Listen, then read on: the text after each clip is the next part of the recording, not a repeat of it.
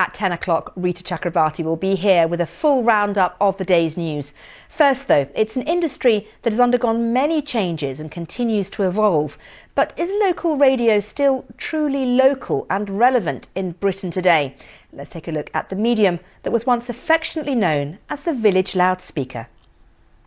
A large number of presenters and staff will no longer be required. It's quite a sad situation around the country. The word local is being taken out of, of, of local radio. That person you listen to is your best friend. DJs and the radio industry have united in their shock and disbelief. It is the media cockroach. Everyone said it's going to die and it just keeps going. Well, over the last decade, studios across the region have closed. That niche that local radio held has probably gone. The headline Lancashire's oldest commercial radio station is to close its studios in Preston. There are people who probably have no idea what local radio really is now. Local radio means it's the station from where I live. I think that makes it really special because we focus on what's going on around us. You won't make great radio unless you break the rules.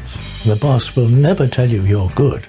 The bosses know nothing about radio. Playing the same records over and over. Just about everybody does that here. If you cannot punctuate great music with great local content, you may as well just plug in an iPod. Of course it matters. It's about bringing a community together. Community radio will be it if it's given a chance. We have come totally full circle.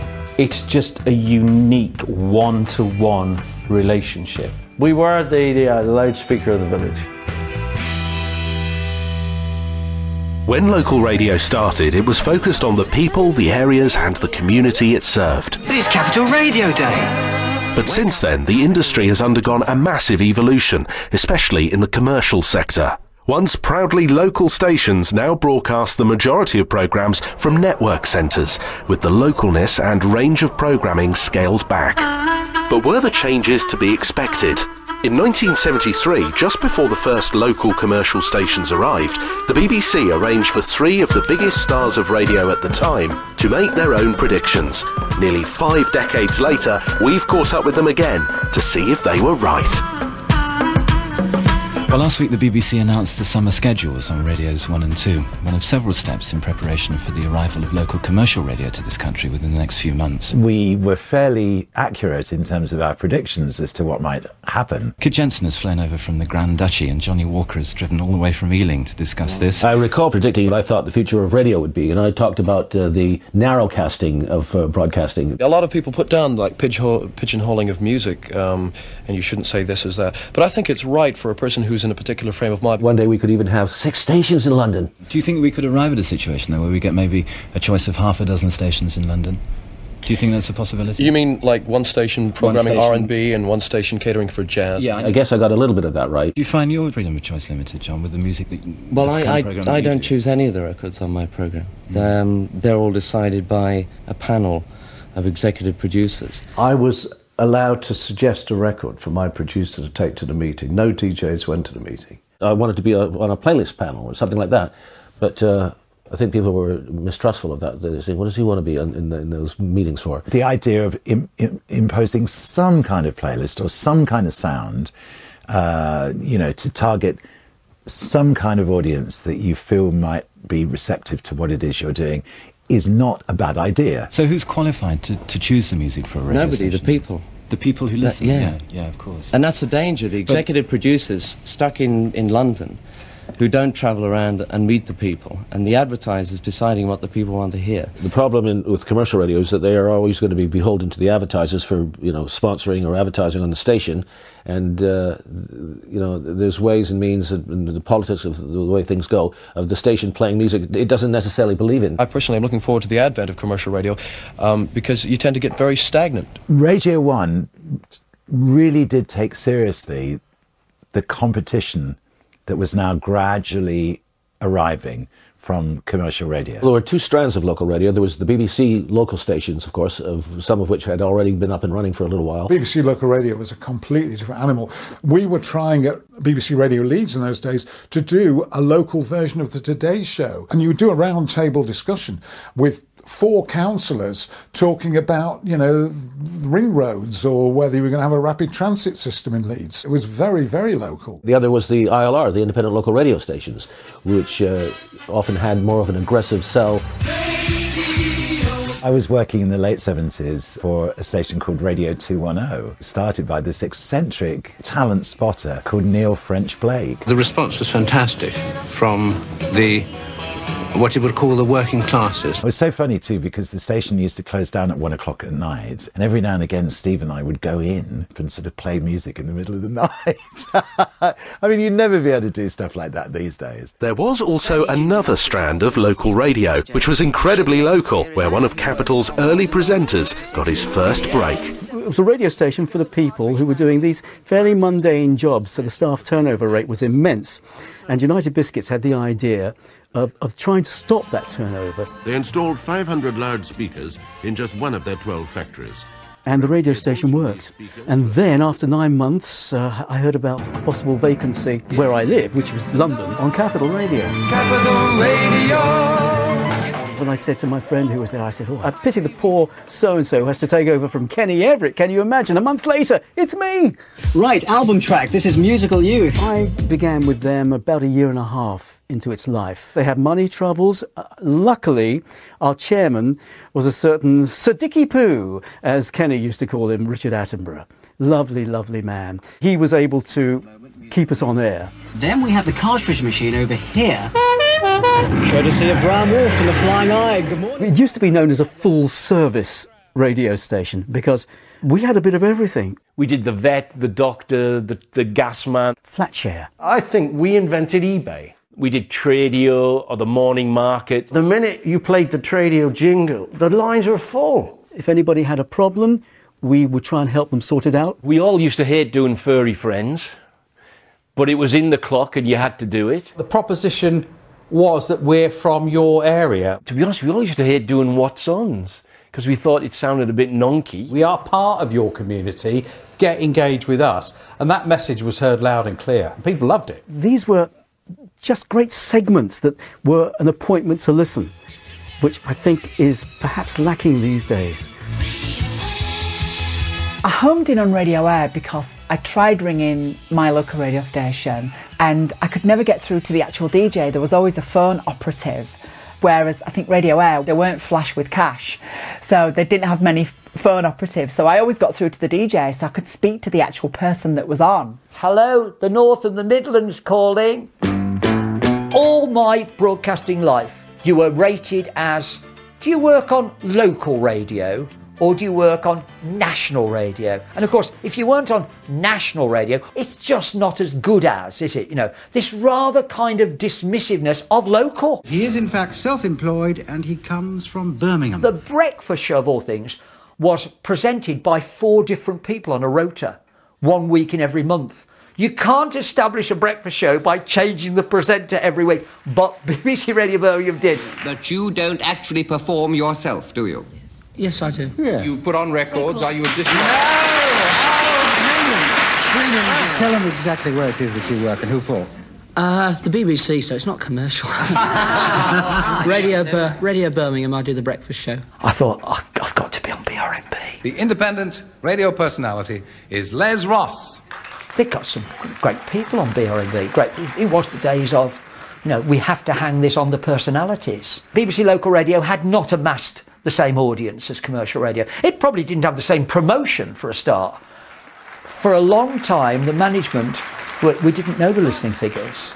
I am world famous in Birmingham. Capital Radio bought the company, and from then on, listening figures suddenly were much more important. You know, um, I, I understood the, the, the, the relevance of it all. Then in the 90s, for some listeners, local radio started to become less local. No station now does its own programming 24 hours a day. Nowhere in the world is that happening. We're not doing it in Gloucestershire. It's a question of pooling resources when you're off peak. I think radio can still be good radio no matter where the presenter is and what they're talking about.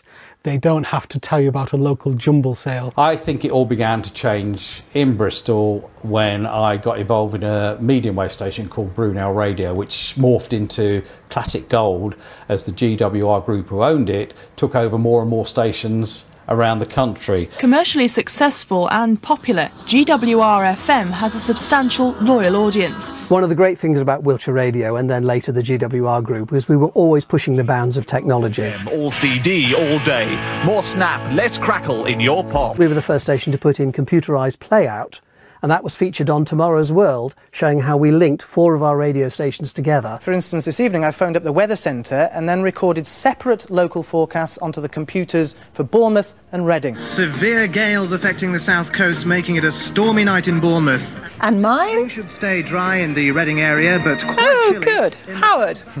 So, with this system, local news about the weather, travel, competition results, and even jumble sales in each town is actually controlled from the network centre. I think a lot of people try to blame the technology for the loss of localness and the loss of full service radio.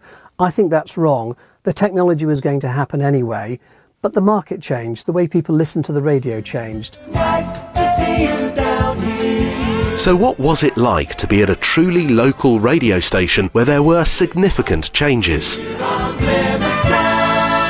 We got the license and we went on air May the 19th, 1975. And a very, very good morning, Plymouth. Today is the day. It's well and truly come. They tell me we're no longer rehearsing. I remember that first day because there were dozens of people walking all in and out, and I was just doing the show. They tell me when they started this job, they said you'll be all alone. I've never had so many people in the studio in my whole life. One of the things I remember is the local BBC. They said, We can't ignore you, it's a very big thing, a new radio station. We're going to broadcast you for about three or four minutes. Would you do me a favour? Don't play a commercial for about the next five or seven minutes. we have looked at the revenue which we need to make our station a viable proposition. Our chairman, Lord Morley, was a guiding influence to us all. What effect is your advertising revenue likely to have, do you think, on local newspapers? I believe that local radio, once it has carved out a place for itself, will be seen as complementary to the other media. What people overlooked, I think, at the time was that we weren't looking to get rich. But the station did quickly become a success thanks to a few magic ingredients. You're going to be able to phone the station and express your view on the government or the council or uh, the local golf club. You will have a vehicle to say whatever you like within legal limits on the air, and you will be heard all over Plymouth and southeast Cornwall. Plymouth Sound's audience figures in the city gave it the highest market share of any local station in the country. At that time, we had presenters that all came from Plymouth. And it worked because we knew what we were talking about. We knew every road. We knew most people that owned stores and fish and chip shops and pub landlords. It was like Emmerdale in a way, or Dibley. Ian Calvert, of course. Well, he he was the naughty boy. I went down to Mutley Plain. It was an electrical store. I remember on the corner. I can't remember the name of it now. And she said he won't advertise because he said nobody listens to us. So David said, right, tomorrow, everybody, as all presenters, we wished him happy birthday. One of the top line presenters at Plymouth Sound, and people adored him. We said, happy birthday to so and so at so and so. Happy 50th birthday. Next day, he was inundated with calls. Didn't say it was your birthday, didn't say it was your birthday. The sales girl came back, said he can't believe how many people listen to Plymouth Sound. And he advertised from then on. Was he going to go over the line? Am I going to get a call from the radio authority because he said too much? And he always just pulled back at the time when you were reaching for the red phone to ring up and say, stop him. I used to get threats and things like that. And one night, somebody rang live on air and said, "Be careful when you leave the building tonight." And this is live on air. If there's anything going on, if you if you've got anything going on like a, a car boot sale, a charity event, whatever, just come in. And so every Wednesday at lunchtime, reception would be packed. It went crazy. It was like pop starish stuff. And that's because they had, there was a figure there that played their music and they listened on the radio too. Those days are gone. There were some evenings where I would cover up the the flashing lights of the phone um, with a CD because I didn't want to take any more calls. And then you see the door light flashing and go out to reception and the police are there because people have rung the police to say they couldn't get through to Plymouth Sound to put a dedication on. I'll always remember that. It wasn't like going to work. I never worked from 1975 until GWR sacked me. The board decided to accept an offer uh, from GWR radio to, to to buy us. It was bottom line up. It was nothing to do with talent. If we could make this pay, do this, do that, it failed. Our great philosophy to be for the community, with the community, and about the community would have stayed. That did not stay with GWR. It assets stripped and it brought in trained SEALs who would work cheap work, long shifts. You would find that people would come in that didn't really have a, a, radio background, they were more of a business background, and they would just see lively personalities around the offices saying, oh, they'd be good on the radio. Talentless, not their fault. They wanted to be in radio. Grabbing somebody from an office and sticking them on the breakfast show without any prior presenting experience is not good. The station became unrecognisable to those of us who'd known it in the early days, yeah. It didn't, well, I don't think it worked. Well, it clearly didn't because the ratings plummeted. With the new Plymouth sound on 97 FM. Choose the style that suits you best. I think it was the, the, the, networking of the music. You were suddenly told, right, we've now got to stick to this, and so you would you would have to. Everything was piped down. GWR was the antichrist of commercial radio. It was the total opposite of what we believed in. Well, I've heard all the arguments from people who want to tightly program radio stations that I heard back in the days when I was working at uh, Radio West and then Wiltshire Radio. And when they'd hire these guys from New Zealand or Canada or somewhere and bring in these tight formats and then focus test songs over the phone with the focus groups and all of that. There'd be certain songs where you would just think, oh no, not again. No, surely I only played that 37 seconds ago. People only listen to the radio for like 20 minutes or half an hour. Well, I used to listen to radio all day. A lot of my friends used to listen to radio all day and complain that the records were repeat. There's too, too few records repeated too often. We had a positioning statement we had to use from time to time. We don't talk over the intro of your favourite songs. So I would say that over the intro of a song and say, We don't talk over your favourite songs and I know you're not that keen on this one, so it's okay. Obviously, the PCs would be there listening in the office and immediately be on the phone, you know. How dare you play Erasure when it should be Pet Shop Boys? What's the difference? Don't tell anybody, but I remember once going to the other side of the studio while I was playing about three or four in a row and practicing my golf swing. When I was at Capital in the later years, you start off with four in a row, no talking, and you're thinking, uh, exactly as uh, Graham said, you know, well, they're not paying for me to be segueing records. There did come the day where I put on whatever record it was, I don't know what it was. And I disliked it so much that I immediately threw off the cans, the headphones, on the desk and turn the speakers down. I just didn't want to hear it. I used to get around it by saying, coming up after the break, I'm terribly sorry, but we've got Celine Dion. When it became more computerized and this computer system called Selector from America that comes in, it starts to become a, a bit homogenized. Suddenly, people were in the canteen were talking about the, not that song again when, when you would hear it go through the house system. I have to be fair and say that the younger listener liked the music. The music that was played all day, all the time, they liked. The industry was changing just like it is today. The radio industry constantly has to evolve. And around that time, 88, 89, 1991, there was a real shift in the radio industry. And when the playlists came in, you'd get a lot of younger presenters saying, um, that was uh, Sade and Smooth Operator. And it'd be like, Sade! We listened for the music, we listened for the content, we listened for the chances to win.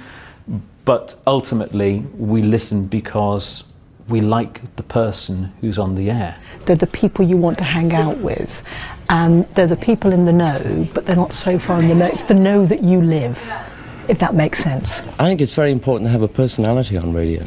To justify your existence, play... I think, because an eight year old, it's very easy for an eight year old to go on and, and play records, right? There's so many radio stations who don't allow their presenters to develop a personality and they're very strict on how they present. It would say, page one, out of news, time check, read the weather.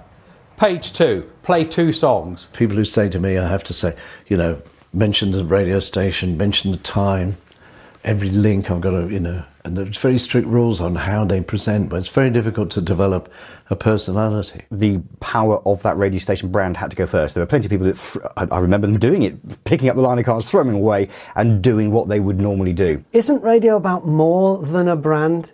Isn't radio? I mean, I can remember when, before I got into radio, I was an air conditioning engineer in Sydney, Australia. If I was in the van with an apprentice, we listened to Triple M, rock station. If I was in the van on my own, I always, always listened to AM talk stations because I didn't want to be on my own. I love to listen to, to somebody on the radio who's genuine. You listen to them on the radio, they might make a mistake. They might stumble over the words. They might get something wrong. But it's human nature. You don't want everything polished to perfection all the time. Some local radio stations around the country, which used to have local heritage names, have been replaced by brands. So Heart and Capital and Smooth. And the thing about a brand is they put a lot of money into it. So the big companies behind it will put a breakfast show on with some national stars. So Jamie Theakston and Amanda Holden on the Heart Breakfast Show on local radio stations around the country. They're all clearly defined radio stations. So it's like the tap. When you turn on a tap, you know water's going to come out of it. When you put smooth radio on, you know exactly what you're going to get. We've seen a lot of local radio presenters lose their jobs, and it's quite a sad situation around the country. When I left, when I did my last show, I'll, I'll never forget actually, going out into the car park at 10 and there was uh, a stack of listeners all there who'd come down to, to listen to my last link in the car park, which was lovely. That was so sweet, and they'd all brought me cards and presents and things. So that just shows that you connected with them, which was really, really sweet. A local radio programme has received a thank you card with a difference. The card was sent following the death of an avid fan called John. We hadn't heard from John for a while, and it had been mentioned in the office.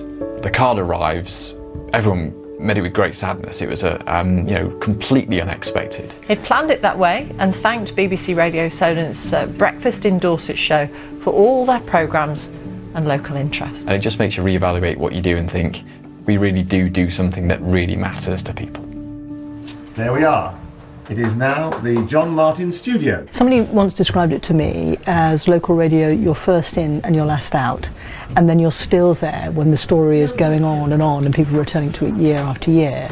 And I think the floods is a really good example of that. The event at Doncaster Dome has been organised by BBC Radio Sheffield. You can see the very handsome Toby Foster there. You have seen yourself firsthand some of the experiences by the people who've been affected by the flooding. How devastating was it? It was horrendous. We did a week of shows out there. It's just devastation. I mean, just you know, people are going to be out of the houses for months. The TV cameras may have gone, but the reality and the aftermath is still something people live through. And that's what local radio can give you that I don't think anybody else can do. I think one of the great changes in radio in the last five or ten years is the democratisation of it. Anybody can run a radio station now.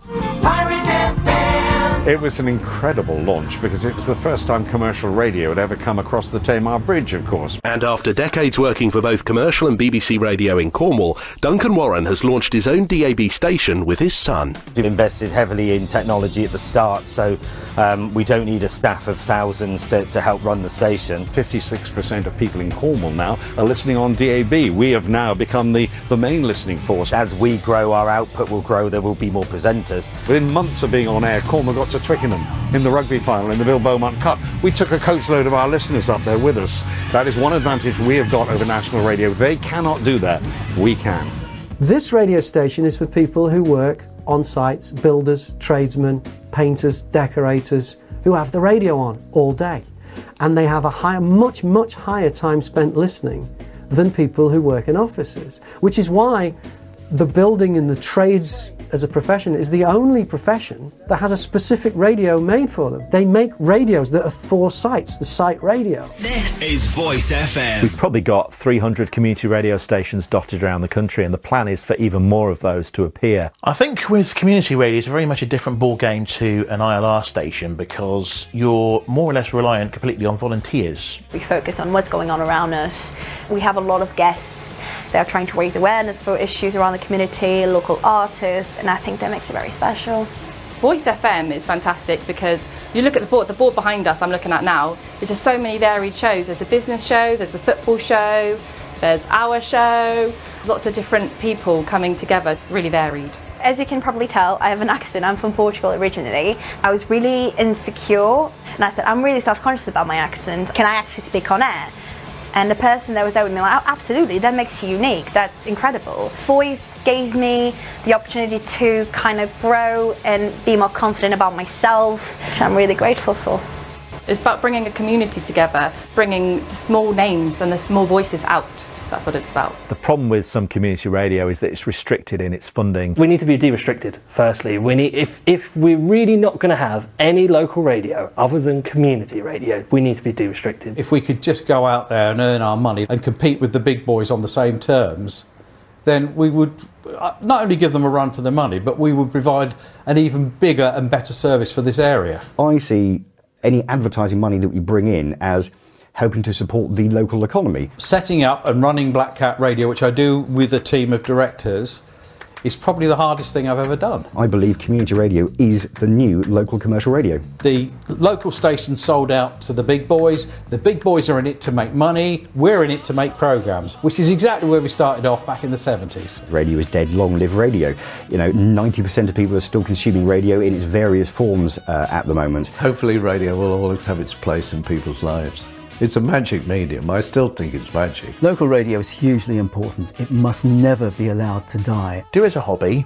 Don't do it as a career because it is really it's it's almost soul destroying when when you see these radio stations close down. And now you've got people listening on DAB radios, listening on FM radios, smart speakers, listening on their mobile phones. That's great because radio is in more places than it's ever been. Radio's in great shape. It's just taken a long time to get to where it should have been regulated to be. What local radio can do that no one else can do, it can tell the story of where I live. Video didn't kill the radio star. We thought automation would kill the radio star. We thought networking would, but none of it has. Great radio is still great radio. And that's what it's all about.